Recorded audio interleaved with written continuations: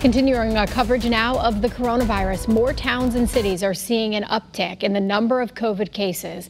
And this morning, the mayor of Cromwell is asking people to be more vigilant as cases rise there. Channel 3 Eyewitness News reporter Aya Galal is live outside Cromwell High School with more on the concerns in town. Aya.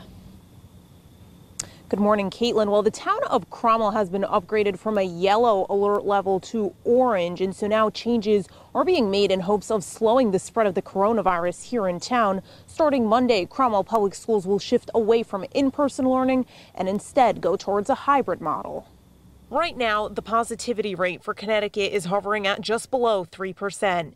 18 towns and cities are in a red risk level. 22 are in orange, among them Cromwell. The orange level means there's 10 to 14 cases per 100,000 people per day. The mayor says the majority of COVID cases reported in town since August are in the 16 to 60 age range. Businesses in town are concerned about what an uptick in cases could mean. If a town makes it on the red alert list, the state recommends it goes back to phase two, meaning capacity would decrease at businesses. The final decision lies in the hands of local government. I would encourage people that if you feel safe to go out to support the small businesses. If they roll it back, I just don't know how these guys are going to stay open, especially during the winter months.